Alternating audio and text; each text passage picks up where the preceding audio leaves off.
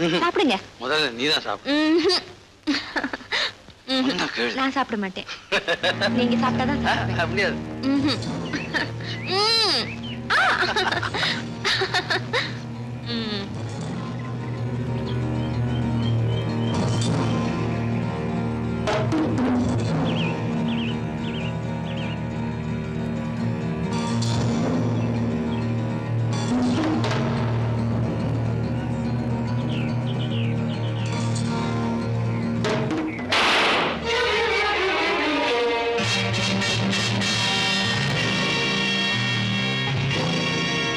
என்ன மச்சான் வேட்டு சத்தம்? அது இந்த குருவிக்காரனுங்க கொக்கு இக்கு சுடுவானுங்க நீ சோத்தை ஊத்தி போடு.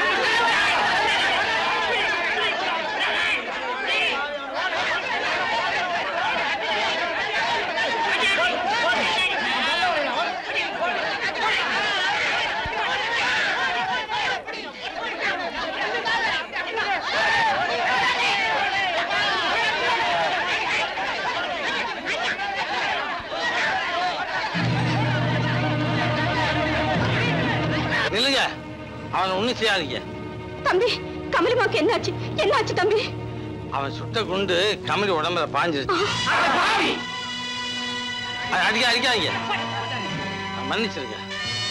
அயோக்கியர்களால் ஏவிடப்பட்ட கைக்கூலி ஏதோ வயிற்று பொழப்புக்காக இந்த கொடுமையை செஞ்சுட்டான். அவனை விட்டுடுங்க. ஐயா ஐயா இவ்வளவு பெரிய பாவத்தை செஞ்ச என்ன? இந்த சண்டாளன எவ்வளவு பெரிய மனசோட மன்னிச்சிட்டீங்க ஐயா? ஐயா நீங்க தெய்வம் ஐயா தெய்வம் ஐயா தெய்வம்.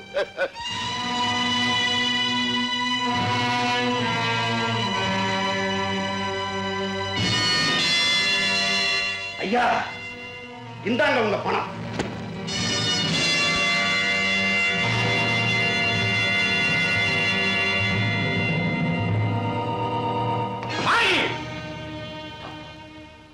நான் சொன்ன காரியத்தை நீ செஞ்சு முடிக்கல. எடுங்க கைய. இதுவரைக்கும் உங்களுக்கு உடந்தையா இருந்து உங்களுக்கு அடிமையா இருந்து நான் செஞ்ச அக்கிரமங்களுக்கும் அநீதிகளுக்கும் இன்னைக்கு பாவ மன்னிப்பு தேடிக்கிட்டேன். மாறி என்ன உடற என் துப்பாக்கியுடைய குண்டு குமருடைய உடலை தொட்டதா இல்லையா? அவர் உடம்ப தொடல. ஆனா கமலி அம்மா உடம்ப தொலைச்சிருச்சு. இந்த விபரீதம் நடந்ததுக்கு அப்புறம் கூட அந்த குமரன் என்ன மன்னிச்சிருக்காருன்னா அவர் பெருந்தன்மைக்கு முன்னாடி எந்த அயோக்கியனும் மண்டிட்டு தாங்க தீரணும். நான் மாறிட்டேன். ஆமா அடியோட புது மனுஷனா மாறிட்டேங்க.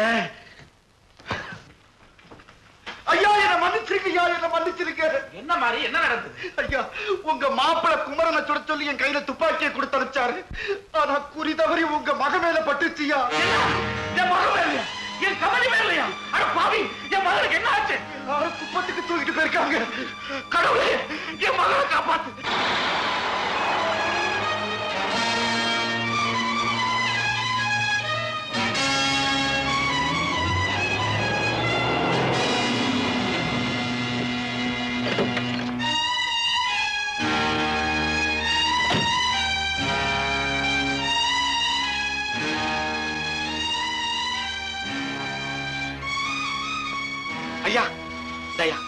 இருபது ரூபா பணம் தர்றேன். இந்த காரை கொஞ்சம் தள்ளி விடுயா இருபது ரூபா தானே? ஐம்பது ரூபா தர்றையா பத்தாத. அட நூறு ரூபா தர்றையா அவசரமா போகணும் தள்ளியா. உங்க பணம் யாருக்கு ஐயா வேணும்? இந்தாயா ஐயா நான் அவசரமா போனியா எவ்வளவு பணம் வேணாலும் தர்றேன். உங்களுக்கு புண்ணியமா போகுது. கொஞ்சம் காரை தள்ளி விடுங்கய்யா ஐயா. ஐயா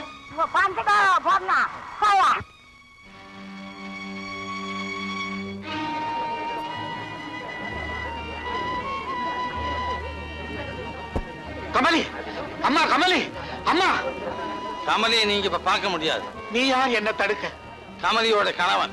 என் மகளை பார்க்க எனக்கு உரிமை உண்டு. வழிய விடு அந்த உரிமையை அவன் உங்களுக்கு கொடுக்க தயாரா இல்ல. என்ன?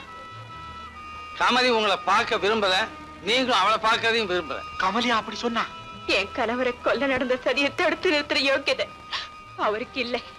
எந்த முகத்தோட என்ன பார்க்க வந்தாருன்னு அவரை கேளுங்கத்தான் அவர் நினைச்சபடி விரும்பியபடி நடந்திருக்க வேண்டியதே வேற. ஆனா என் மாங்கல்ய பலம் நல்ல காலம் அப்படி நடக்கல. அப்படிப்பட்ட கொடூர மனம் படிச்சவங்கள நான் பார்க்க விரும்பல. நிச்சயமா நான் பார்க்க விரும்பல. நான் பார்க்க விரும்பல. அம்மா அதெல்லாம் எனக்கு தெரியாம நடந்து போச்சுமா என்ன மன்னிச்சிருமா பெத்த பாசம். அதனாலதான்மா இவ்வளவு தூரம் நான் ஓடி வந்திருக்கிறேன். நீ இந்த விபத்துல இருந்து பரிபூர்ணமா குணம் அடையணும் அதுக்கு எவ்வளவு பணம் வேணும்னாலும் செலவழிக்க நான் தயாரா இருக்கேம்மா தயாரா இருக்கேம்மா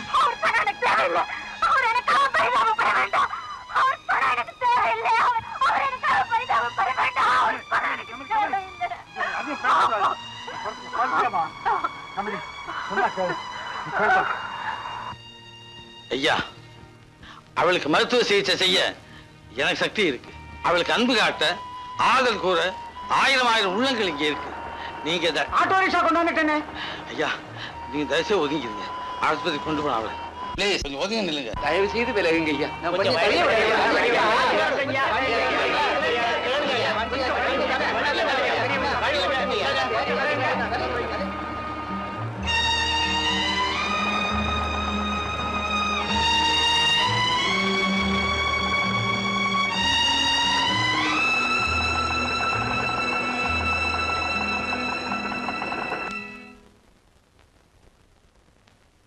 அம்மா கமலி அம்மாவுக்கு ஏதோ உயிருக்கு ஆபத்தான். வெளியே கூட அவங்கள பார்க்கறதுக்கு குப்பத்துக்கு போயிருக்காங்க.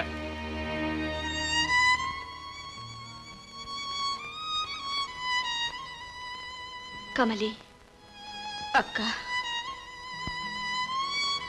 கமலி இனிமே உனக்கு எந்த ஆபத்தும் இல்லை. தெய்வத்தோட கருணையால நீ பெரிய கண்டத்திலேருந்து தப்பிச்சிட்ட. அக்கா என் மேல பட்ட குண்டு தப்பி தவறி அவர் மேல பட்டிருந்தா எங்கது என்ன இருக்கும்? அதை நினைச்சாலே என் உடம்பெல்லாம் நடுங்குது. கமலி உன்னை பேச வேண்டாம் டாக்டர் சொல்லியிருக்காருல. அமைதியா தூங்கு. அம்மா சாந்திமா என்னப்பா? சின்ன உங்களை உடனே புறப்பட்டு சொன்னாருமா ரொம்ப அவசரமா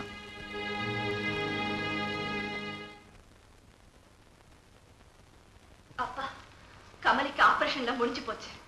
அவ உயிருக்கு எந்த ஆபத்தும் இல்லைன்னு டாக்டர் சொல்லிருக்காங்க என் பொண்ணு தீர்க்காயுசோட இருந்தா அதுவே எனக்கு போதும். ஏங்க நீங்க ஏதோ அவசரமா வர சொல்லி கூப்பிட்டீங்களாமே? ஆமா. இனிமே என்னுடைய அனுமதி இல்லாம நீ இந்த வீட்டை விட்டு எங்கே போக கூடாது. ஆபத்தான நிலைமையில இருக்கிற கமலிய பார்க்க ஆஸ்பத்திரிக்கு தாங்க போனேன். வேற எங்கேயும் போகல. அதைத்தான் நான் கூடாதுன்னு சொல்றேன். மாப்பிள கமலி அவளோட தங்கப்பா. ஆனா சாந்தி என் மனைவியாச்சே? புருஷன் சொன்னபடி தானே மனைவி கேட்கணும். இத பாருங்க. கமலி என் கூட பிறந்தவ. அவளை நான் உயிருக்கு உயிரா நேசிக்கிறேன். அவளுக்கு உடம்பு சரியில்லாம இருக்கிற இந்த நிலைமையில அவளை பார்க்க கூடாதுன்னு கட்டுப்பாடு விதிக்கிறீங்களே. இது நியாயமா? நியாயமோ அநியாயமோ? தவறில்லை ஆனா இன்னைக்கும் தங்க என் விரோதியினுடைய மனைவி. அந்த குடும்பத்துக்கு என் குடும்பத்துக்கு இனிமே எந்த விதமான தொடர்பு இருக்கக்கூடாது. இது என்னுடைய கட்டளை. இதனை மீறின பயங்கரமான தண்டனை அனுபவிக்க வேண்டி வரும் ஜாக்கிரதை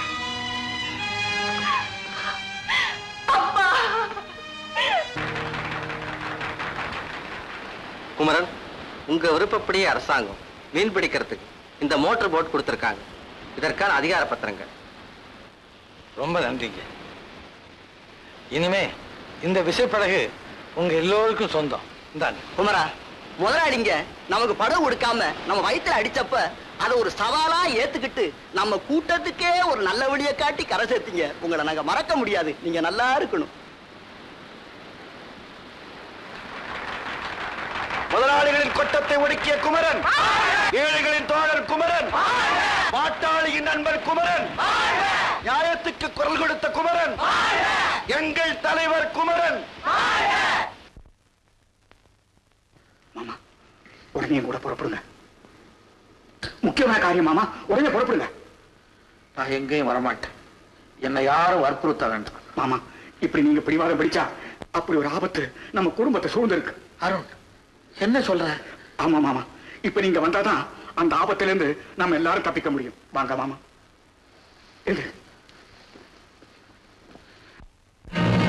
உட்காரு. முதல்ல இந்த பத்திரத்துல ஒரு கையெழுத்து போடுங்க. அத்தரமா இதுல நான் ஏன் கையெழுத்து போடணும்? ஏன் எதுக்குங்கிற கேள்விகளுக்கு பதில் சொல்ல எனக்கு நேரம் இல்லை. உங்களையும் ரொம்ப நேரம் இங்க அடைச்சு வைக்க எனக்கு விருப்பம் இல்லை. ஆகையினால இந்த பத்திரத்துல என்ன எழுதி இருக்குன்னு நான் சுருக்கமா சொல்றேன். என் விருப்பத்துக்கு மாறாக என் இரண்டாவது பெண் கமலி வேறொருத்தனை கல்யாணம் செய்துவிட்டதுனால என் சொத்துல எந்த விதமான உரிமை அவளுக்கு கிடையாது. நான் சுயமா சம்பாதிச்ச சொத்து கூடாதோ என் முதல் பெண் சாந்தியத்தான் சேரும் அந்த சொத்துக்களை அனுபவிக்கவோ விற்கவோ சாந்தியுடைய புருஷன். அதாவது என் முதல் மாப்பிள அவளுக்கு இதனால எல்லா விதமான உரிமையை மனப்பூர்வமா அளிக்கிறேன். சரிதானா மாமா? இழுத்து போட முடியாது மாமா கையெழுத்து போடாம நீங்க தப்பிக்கவே முடியாது. என் குடும்பத்தை தூழ்ச்சி பண்ணி கெடுக்க மாட்டேன் என் உயிரே போறாது இதுக்கு நான் சம்மதிக்க மாட்டேன். மாமா என்ன மிரட்ட பத்திரமா கையெழுத்து போடணும். கையெழுத்து.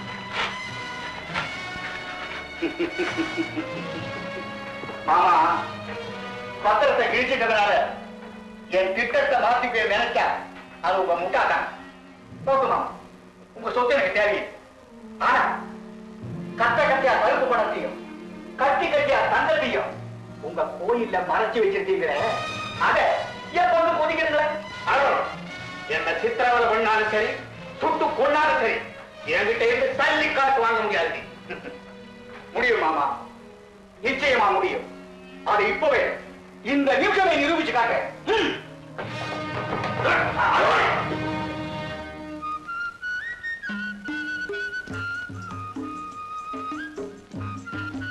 கமலி. அக்கா.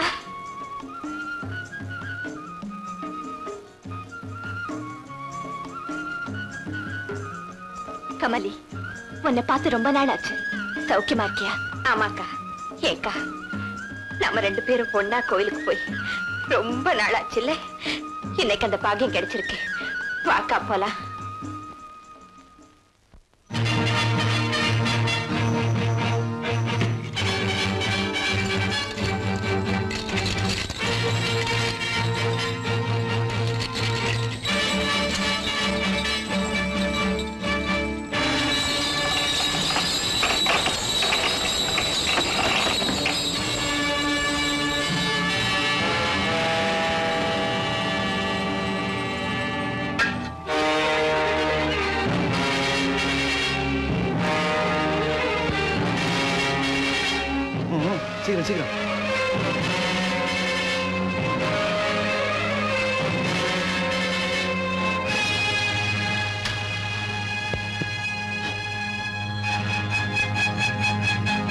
குமரா பெரிய ஐயாவுடைய மாப்பிள அருண் அவரை பிடிச்சு அடைச்சு வச்சிருக்காங்க.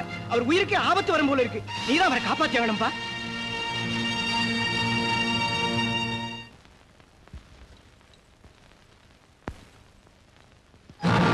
கமலி சாப்பாடு யாரோ ஆமா. அப்பா. உள்ள யாரும் நுழையக்கூடாது. நீங்களா? நானே தான் நீங்க ரெண்டு பேரும். வந்த சோடு தெரியாம கோவிலை விட்டு வெளியே போயிடுங்க. அத்தா. ஏய்! இது என்னது அக்கிரமம்? ஏன் அம்மனோட பீட்டத்தை உடைக்கிறீங்க? சாந்தி நான் ஏன் உடைக்கிறேன்? எதுக்காக உடைக்கிறேங்கிற காரணம் உனக்கு தேவையில்லை. மரியாதையா இந்த இடத்த விட்டு போயிடு. அத்தா புனிதமான கர்ப்பகிரகத்துக்குள்ள புகுந்து அம்மனோட சிலையை உடைக்க முயற்சி பண்றீங்களே இது உங்களுக்கு நான் இந்த கோயிலை உடைப்பேன் சிலை உடைப்பேன். அதை கேட்க நீயா எங்க அப்பா கட்டின கோயில் இது. எங்க குடும்பத்தோட குலதெய்வம் இந்த அம்மன். அத்தா மரியாதையா வெளியே வாங்க. முடியாது. என் காரியம் முடிஞ்ச பிறகு நான் வெளியே வருவேன். கமலி!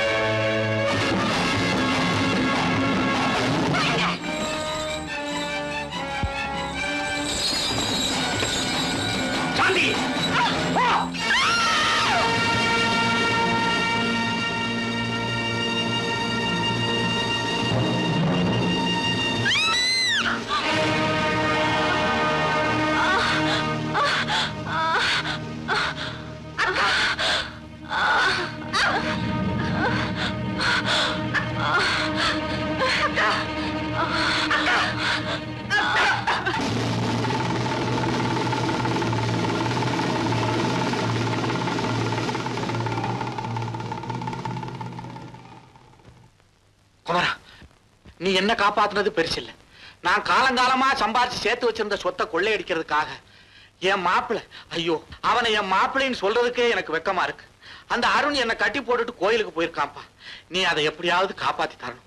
மன்னிக்கணும். உங்களை காப்பாத்துறது என் மனசுல ஏற்பட்ட பச்சாத்தாபம். ஊரை கொள்ளையடிச்சு ஏழை மக்கள் வயிற்றடிச்சு சேர்த்து வச்சிருக்கீங்களே அந்த கள்ளப்பணத்தை மறுபடியும் கொண்டு ஒப்படைச்சா மிகப்பெரிய பாவம். தம்பி அந்த பணத்தை என்கிட்ட கொடுக்க வேணாம். ஆனா அந்த அயோக்கியங்கிட்டையும் போய் சேரக்கூடாது. எப்படியாவது அந்த பணத்தை மீட்டு சர்க்கார் கிட்ட ஒப்படைச்சிருங்க. நான் செஞ்ச பாவத்துக்கெல்லாம் அது பரிகாரமா இருக்கட்டும்.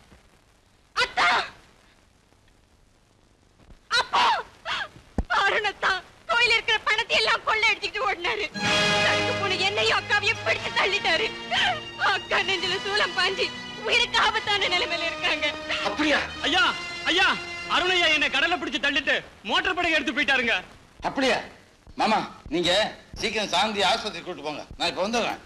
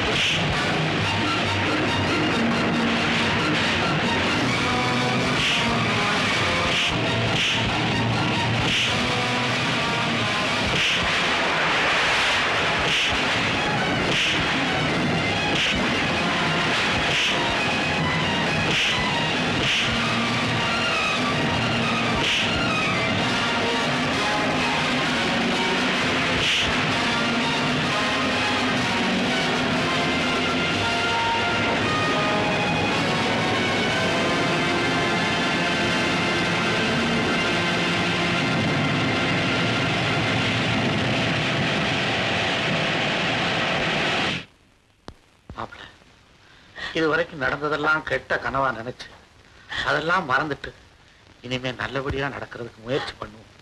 நிச்சயம் பாமா நிச்சயம். இங்கிருந்து நான் வெளியே வரும்போது நல்லவனாத்தான் வருவேன். இது சத்தியம்.